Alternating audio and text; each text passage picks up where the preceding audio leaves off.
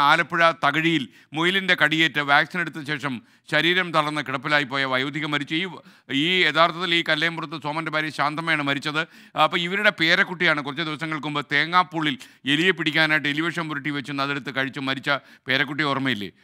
അപ്പോൾ ആ ആ അവർ ആ കുട്ടിയുടെ അതേ വീട്ടിൽ തന്നെയാണ് ഈ അമ്മയുള്ളത് ഈ അമ്മ ഇപ്പോൾ മരിച്ചു എന്ന വാർത്തയാണ് വരുന്നത്. മനീഷ് മഹിവാൽ അപ്ഡേറ്റ് ചെയ്യും ഈ വാർത്തയുടെ വിശദാംശങ്ങളിൽ. മനീഷ് മഹിവാൽ ഗുഡ് മോർണിംഗ് മനീഷ് യഥാർത്ഥത്തിൽ സങ്കടകരമായ കാര്യമാണ്. ഒരു വീട്ടിൽ തന്നെ എരിവിഷം കഴിച്ച് രണ്ടുപേർ മരിക്കുക. അതെ എസ് കെ എൻ ദാരുണമായ സംഭവമാണ്. കഴിഞ്ഞ ഒക്ടോബർ മാസം ഇരുപത്തി ഒന്നിനാണ് ശാന്തമ്മയെ മുയൽ മാന്തിയതിനെ തുടർന്ന് ആലപ്പുഴ വണ്ടാനം മെഡിക്കൽ കോളേജ് ആശുപത്രിയിൽ. ഒരാൾ മാത്രമേ മരിച്ചിട്ടുള്ളൂ. മറ്റേത് മുയലിന്റെ കാര്യമാണ് പ്രശ്നം. അത് വിശദമായി പറഞ്ഞോളൂ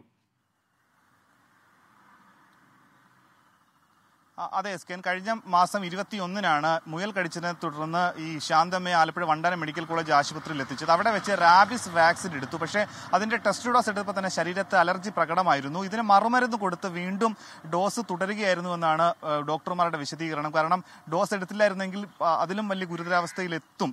അതുകൊണ്ട് തന്നെ വീണ്ടും രണ്ടും മൂന്നും ഡോസ് നൽകി. പക്ഷേ ഇതിനുശേഷം മണിക്കൂറുകൾക്കുള്ളിൽ തന്നെ തീവ്രപരിചരണ വിഭാഗത്തിലേക്ക് മാറ്റേണ്ടി വന്നു. ഈ ശാന്തമ്മയുടെ ശാന്തമ്മയ്ക്ക് സംസാരശേഷിയും ചലനശേഷിയും പൂർണമായി നഷ്ടപ്പെട്ടു. ഇതിനെതിരെ മെഡിക്കൽ കോളേജിനെതിരെ എതിരെ പരാതി കൊടുത്തെങ്കിലും ഇവർ നൽകിയ വിശദീകരണം ഇങ്ങനെയുള്ള റാബിസ് വാക്സിൻ എടുക്കുമ്പോൾ റെയറായി പാർശ്വഫലം എന്ന രീതിയിൽ ഇങ്ങനെ തളർന്നു പോകാനുള്ള സാധ്യത ഇതിനു മുൻപ് റിപ്പോർട്ട് ചെയ്തിട്ടുണ്ട് എന്ന വിശദീകരണം മെഡിക്കൽ കോളേജ് നൽകിയിരുന്നു. പിന്നാലെ രണ്ടാഴ്ചകൾക്ക് മുൻപ് ആണ് ഈ ദാരുണമായ സംഭവം ഉണ്ടാകുന്നത്. ഇവരുടെ വീട്ടിൽ ആരും ഇല്ലാത്ത സമയത്ത് അതായത് ശാന്തമ്മയുടെ ചികിത്സയ്ക്കായി മകനും ഭാര്യയും മെഡിക്കൽ കോളേജിലുള്ള സമയത്താണ് സ്കൂൾ വിട്ട് വീട്ടിൽ വന്നപ്പോൾ കഴിക്കാൻ ഒന്നുമില്ല എന്ന് കണ്ടതിനെ തുടർന്ന് തേങ്ങാപ്പൂൾ എടുത്ത് കഴിച്ചത്. പക്ഷേ ഇതിൽ നിർഭാഗ്യമെന്ന് പക്ഷേ പറയട്ടെ അതിനകത്ത് വിഷമുണ്ടായിരുന്നു. അത് കഴിച്ച് മണിക്കുട്ടി പതിനഞ്ച് വയസ്സാണ് മണിക്കുട്ടി മരണമടഞ്ഞു.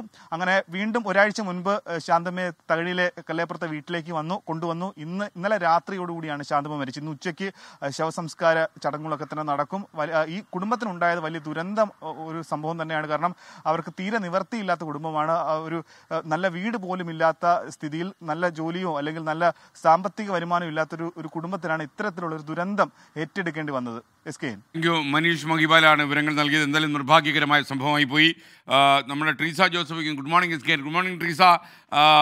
താങ്കളെ ഈ താങ്കളുടെ യൂണിഫോം ഒക്കെ മാറ്റി മുണ്ടൊക്കെ മാറ്റി പാന്റായോ എന്ന് ചോദിക്കുന്നു. അങ്ങനെയൊന്നുമില്ല.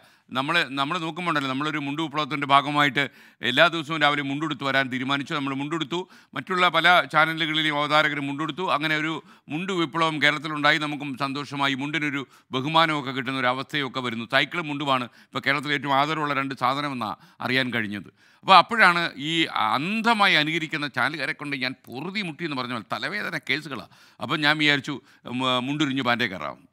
അപ്പോൾ ഇടയ്ക്കിടയ്ക്ക് മുണ്ടും ഇടയ്ക്കിടയ്ക്ക് പാന്റും അങ്ങനെ മിക്സായി പോകാം അനുകരിക്കുമെന്ന് അറിയാമല്ലോ. അപ്പോൾ അവർ അനുകരിക്കുമ്പോൾ നമ്മൾ പാന്റേ കയറും. പാന്റ് അനുകരിക്കുമ്പോൾ നമ്മൾ മുണ്ടേ കയറും. അങ്ങനെ ആ രീതിയിൽ പോകാമെന്ന് വിചാരിച്ചു. ഒരിടത്ത് മുണ്ട് ഒരിടത്ത് പാന്റ് ഒരിടത്ത് പാന്റ് ഒരിടത്ത് മുണ്ട്. അങ്ങനെ പോകാമെന്ന് വിചാരിച്ചു. എങ്ങനെയുണ്ട് ഐഡിയ? കൊള്ളാമോ?